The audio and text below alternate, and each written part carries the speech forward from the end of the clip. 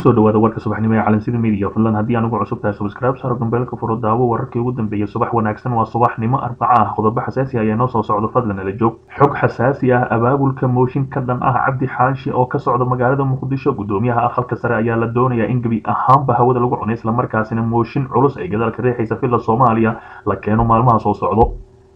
magaalada muqdisho waxaa ka socda isku day abaabulka mooshin ka dhan ah. Gudoomiyaha aqalka sare cabdi xaashi cabdulaahi kaas oo ay gadaal ka riixayso villa soomaaliya gaar ahaan madaxweyne farmaajo xog ay heshay calansida media ayaa sheegaysa in xalay ra'iisul wasaare ku-xigeenka soomaaliya mahdi maxamed guuleed qatar uu kulamo la qaatay. Senatoro ka tirsan golaha aqalka sare ee baarlamaanka soomaaliya kuwaas oo wada abaabulka mooshin ka dhan ah cabdi xaashi cabdulaahi oo ah gudoomiyaha aqalka sare. Abaabulka mooshinka abaabulka mooshinkani ayaa sidoo kale waxaa qayb weyn ka wada senataro ka tirsan golaha aqalka sare waxaana lagu bixiyey kumanaan lacag ah islamarkaasina la doonayo sidii halkaasi loogu tuuri lahay maadaama madaxweyne farmaajo aada uga soo horjeestay. Wararkan helayno ayaa sidoo kale sheegaya in kulamada xubno ka mid ahay golaha shacabka ay qayb ka ahaayeen waxaana lagu qabtay laba hotel oo ku yaalla magaalada muqdisho. Waxyaabaha la isku soo hadal qaaday waxaa ka mid ah in xubnaha ka soo horjeedo cabdi xaashi cabdulaahi aysan marnaba kulamada cabdi xaashi uu iclaamiyay ee aqalka sare ilaa amar dambe iyo in la sameeyo kulamo kale oo lagu diyaarinayo mooshin kaas oo si deg deg ah loo horgeyn doono fadhiga aqalka sare. Abaabul xoog leh ayaa ka jira magaalada muqdisho kaas oo ku saabsan khilaafka golaha aqalka sare ee baarlamaanka soomaaliya. Waxaa aada u sii xumaaday khilaafka ka jira guddoonka aqalka sare kaas oo la aaminsan yahay inay gadaal ka riixayso villa soomaaliya islamarkaasina lacaga aada u fara badan ay ku bixinayso. Villa soomaaliya ayaa ka carootay markii uu gudoomiyaha aqalka sare iclaamiyey shir dhex mara dowladda soomaaliya iyo maamul goboleedyada dalka. Inkastoo oo madaxtooyada ay markii dambe ogolaatay shirkaasi kadib cadaadis ka yimid beesha caalamka islamarkaasina madaxweyne farmaajo lagu cadaadiyey inuu aqbalo codsiga ka yimid aqalka sare islamarkaasina kadib wixii markaasi ka dambeeyey cabdi xanshi iyo farmaajo arrintooda aada u xumaatay arrin murugo leh oo shalay galab ka dhacday magaalada muqdisho nin oday ah oo muqdisho loogu dilay hal xabo sigaar awgiisa islamarkaasina caro xoogan ka dhalisay. Halkaasina askarigii dilay ayaa la qabtay sida wararka qaar ay sheegayaan. Dadka magaalada muqdisho ayaa isku soo xoomay islamarkaasina aada u qayliyay yidhaahday hal xabo sigaar miyaa loo dilayaa oday masaakiin ah oday masaakiin ah islamarkaasina miis ku kanacsanayay agagaarka laamiga agtiisa. Asri ilaalo uu ahaa gudoomiyaha degmada shangaani ee gobolka banaadir ayaa shalay galabtii isgoyska ceelgaabta ee magaalada muqdisho ku dilay nin oday ah kadib muran labada nin soo dhexgalay islamarkaasina halkaasi xabad uu ku dhuftay. Goobjoogayaal ayaa ku waramaya ninka la dilay oo miis alaabo lagu lagu iibiye ku lahaa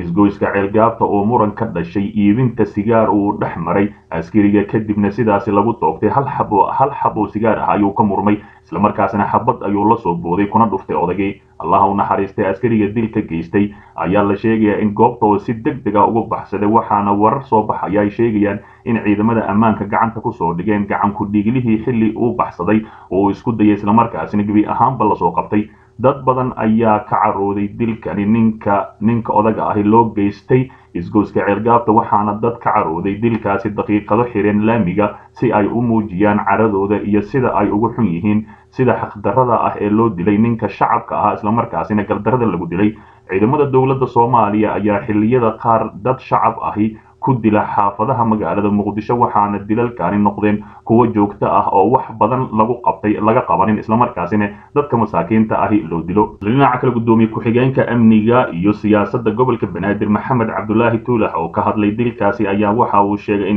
in xilliga uu falka uu dhacayay uu ku soo aaday goobta isagoona xusay in ciidankiisa ay qabteen askariga islamarkaasina soo qabteen. Waxa uu yidhi waxaan anigoo marayay waddada ceelgaabta ee aada madaxtooyada dhanka degmada xamarjajab ku soo aadnay. Xilli fal dil ahi uu geystay askari ka tirsan booliiska kaas oo qof shacab ahi ku dilay agagaarka ceelgaabta ayuu yidhi tuulax. Ugu dambeyntii gudoomiye tuulax ayaa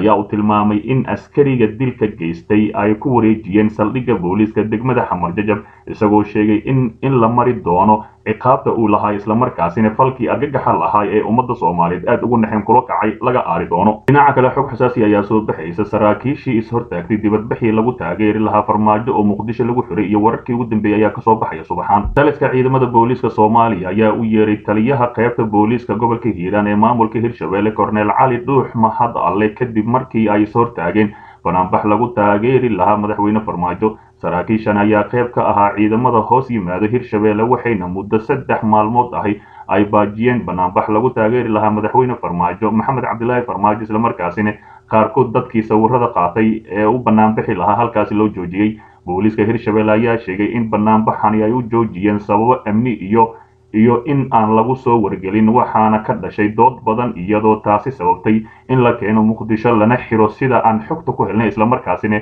shalay aan tabinay in xamar loogu yeeray saraakiishaasi. Balse maanta wararka ay sheegaya in halkaasi lagu xiray. Warar lagu kalsoon yahay ayaa sheegaya in c i d da ee magaalada muqdisho lagu xiray saraakiishani halka wararka kalena ay sheegayaan in lagu reesteeyey ama lagu xanibay xarunta taliska booliiska soomaaliyeed saraakiil ka tirsan hirshabelle ayaa noo xaqiijisay in saraakiishani shalay diyaarad gaar ahi looga soo qaaday magaalada beledweyne ee xarunta gobolka hiiraan lana keenay muqdisho. Wasiir ku-xigeenkii amniga dowlad goboleedka hirshabelle xildhibaan geele isaaq warsame ayaa labiiyo tobankii bishan ku dhawaaqay inuu iska casilay xilkii wasiir ku-xigeenka amniga maamulkaasi. Shir jaraa-id uu warbaahinta u qabtay beledweyne ayuu ku sheegay inay timid kadib markii taliyaha booliiska gobolka uu joojiyey banaanbax lagu taageeri lahaa farmaajo oo wasiirka ku-xigeenka ka qayb qaadanayay. Islamarkaasina qaarkood iyo dad kaloo mas'uuliyiin ahay halkaasi lagu xiray halkaasina ku sheegay ama warbaahinta si toosa u sheegay inuu xilkii iska casilay islamarkaasina iminka uu yahay xildhibaan hirshabelle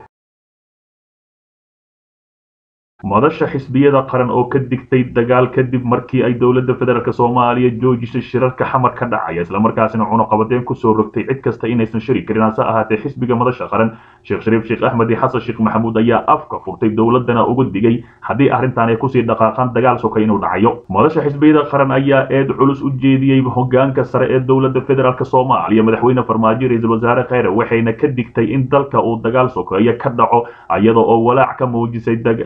dagaalada sokeeye ee soo nonoqday ee ka dhaca deegaanada soomaaliya islamarkaasina ku eedeysay in dowladda federaalk soomaaliya ay beelaha soomaaliya isku dirayaan. Qoraal madasha ay soo saartay ayaa lagu sheegay inay inay u taagan tahay nabad u raadinta dadka iyo dalka soomaaliyeed iyadoo xustay in gacmo siyaasadeed uga muuqdaan dagaalada soo nonoqday ee ka dhaca deegaano kala duwan oo dalka ka mid ah islamarkaasina halkaasi dagaal xoogan ee beelaha soomaaliyed isku hayaan madashu waxay u aragtaa inay gacmo siyaasadeed ku lug leeyihiin oo colaada soo noqnoqday madashu waxay u taagan tahay dhiiragelinta nabadda xasiloonida iyo daris wanaagga ilaalinta sharafka dhiigga ummadda soomaaliyeed iyo maalka shakhsiga iyo karaamada ummadda soomaaliyeed waxayna bulshada ku dhiiragelinaysaa ka fogaanshaha hadallada xanafta leh ee kicin kara amaba dhaawici kara dareenka dadka iyo dareenka dadka iyo kabaaqsashada hurinta colaada ayaa lagu yiri war-saxaafadeed ka soo baxay. Madasha xisbiga qaran ee fadhigoodu yahay magaalada muqdisho. Madasha oo ku madasha oo adkaysay sida ay ugu xun tahay uga soo horjeedo una cambaaraynayso falalkii arxandarrada ahaa ee lagu xasuuqay. Muwaadiniintii soomaaliyeed ee lagu laayay deegaanada gololey ayaa dalbatay in cadaalad la hor keeno raggii dareeska ciidanka qaranka ku labisnaa ee dhakhaatiirta arxandarrada u dilay islamarkaasina ilaa iminka aan sal iyo raadba lahayn halkii ay ku dhunteen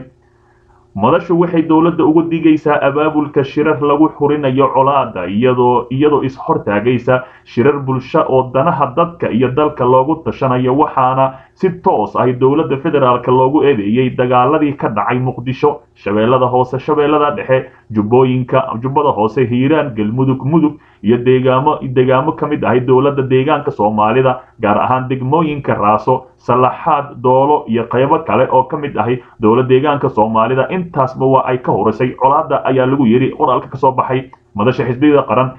gebagabadii waxay madasha xisbiyada qaran ugu baaqday hogaanka dowladda federaalk soomaaliya inay joojiso dagaalada siyaasadeed iyo midka ciidan ee ka dhanka ahi dowlad goboleedyada waxaana fariinta u dambaysay lala wadaagayaa waxgaradka soomaaliyeed iyo dowlad goboleedyada oo loogu baaqay inay u istaagaan doorkooda ku aadan deminta colaada sokeeya islamarkaasina ay horinayso dowladda federaalk soomaaliya. Si kastaba ha ahaatee madasha xisbiga qaran ay hogaaminayaan labadii madaxweyne hore ayaa indhaha u shitay dowladda federaalk soomaaliya islamarkaasina macquul ay tahay haddii shirarkooda qaarkood la joojiyo halkaasi dagaal uu ka dhex qarxo mar kale dhinaca kale isla madasha xisbiyada qaran oo dalab xasaasi ah u diray beesha caalamka islamarkaasina dacwo ka ah ciidamada dheeriga ah ee amisom aanan ku jirin islamarkaasina xasuuq kaga geystay etoobiyaanka iyo farmaajo uu soo geliya dalka. Madasha xisbiyada qaran ee soomaaliya ayaa mar kale wax ka soo saaray ama warar ka soo saaray ciidamada etoobiyaanka ee ku sugan gudaha dalka soomaaliya kuwaas oo aan qayb ka ahayn amisom iyada oo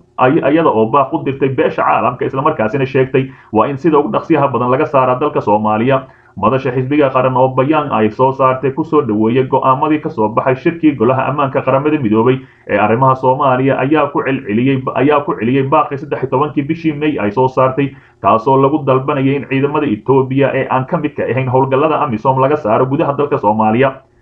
madasha xisbiyada qaran waxay ka mid waxay ka mahad celinaysaa in la caddeeyo tirada dhabta ah ee ciidamada midowda africa ee nabad ilaalinta u jooga soomaaliya ciidankaasoo tiradiisu guud ay tahay sagaal iyo toban kun lix boqol labaatan iyo lix askari. Waxay sharciyad u haystaan in gudaha soomaaliya ay ka howlgalaan ilaa siddeed iyo labaatanka februaayo laba kun kow iyo labaatanka si ay gacanta u si ay gacan uga geystaan in dalka ay ka dhacdo. Doorasho xor iyo xalaal ah ayaa lagu yidhi qoraalka ka soo baxay xisbiga madasha qaran. Madashu ayaa intaasi ku dartay inay ka walaacsan tahay in lagu xadgudbo qarannimada soomaaliya siyaasada dalnimo madax banaanida siyaasadeed iyo cunaqabataynta hubka ee soomaaliya lagu soo rogay ee tiirkiisu yahay toddoba saddex saddex iyo qaraar iyo qaraarkii qaramada midoobay ee tiirkiisu uu yahay labaatan iyo shan labaatan oo soo baxay sanadkan laba kun iyo labaatanka. Gebagabadii qoraalkan oo toos ugu socdo beesha caalamka iyo qaramada midoobay waxaa lagu baaqay in il gaar ahi lagu eego faragelinta qaawan ee etoobiya ku hayso arrimaha gudaha soomaaliya ciidanka aan amisomka ka tirsanayn ee sharci darrada dalka ku joogo iyo in dowladda federaalk soomaaliya ay wada hadal dhab ahi la furto madaxda maamul goboleedyada si loo maareeyo marxaladaha kala guurka ah ee doorashooyinka dalka ka dhacaysa. ayaa lagu yidhi qoraalka ka soo baxay. Si kastaba ha aatee xisbiga madasha qaran ee ugu halkaasi ku midooban ilaa lix xisbi ayaa hilfaha u qaaday dowladda federaalk soomaaliya islamarkaasina war saxaafadeedyo isdaba joog ahi soo saaraya ayagoo ciidamada etoobiyaanka ee dheeriga ah ee gada lagu soo daldalay iyo bardaale jooga oo aan ka mid ahayn amisom dalbanaya in dalka laga saaro. Dowladda federaalk soomaaliya ayaa waxa ay yidhaahdeen shirarka aad joojinaysaan haddii aad ku sii dhaqaaqdaan dagaal sokeeye ayaa dhacaya